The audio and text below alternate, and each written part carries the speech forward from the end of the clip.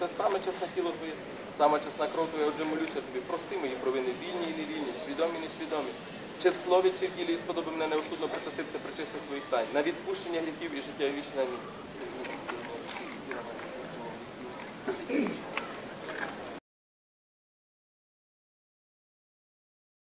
Бог дав, що саме в той час, як ми приїхали, більшість підрозділів Айдар були на місці дислокації. І це дуже рідко, між іншим, що вони не беруть е, десь участі в активних бойових діях, а просто мають можливість побути і зібратися з. Е, На мою пропозицію відносно причастя і сповіді ну, всі відгукнулися дуже позитивно.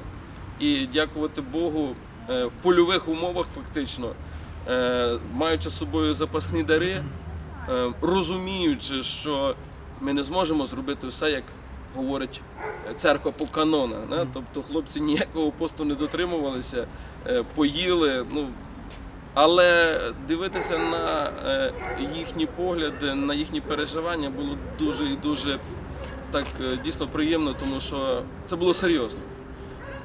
Чому я про це все говорю? Тому що я хочу, щоб ми побачили інше обличчя Айдару.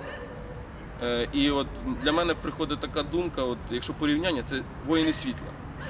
Чомусь достатньо часто виникає думка, що це воїни темряви, жорстокі, ціленаправлені і тому подібне. Ні, вони ціленаправлені, але вони воїни світла.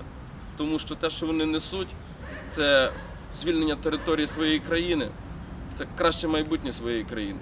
І, на мою думку, це однозначно. Що ми бачили біля е, воріт КПП е, мирних жителів.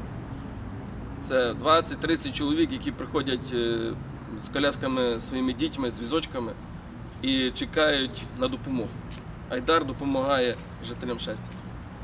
Е, Допомагає адресно, і вони вже привикли, що солдат це не тільки носій якоїсь бойової слави, це ще носій е, елементарних людських цінностей.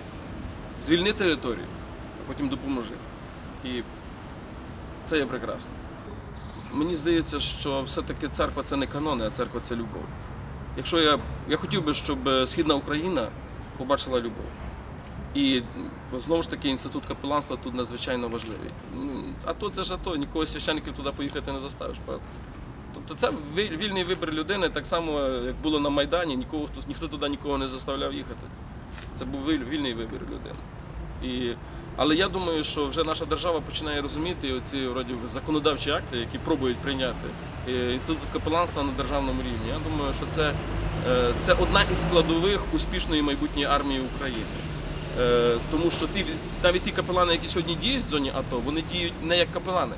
Вони діють як звичайні військовослужбовці, виконуючи обов'язки капелана. У нас нема на державному рівні інституту капеланства.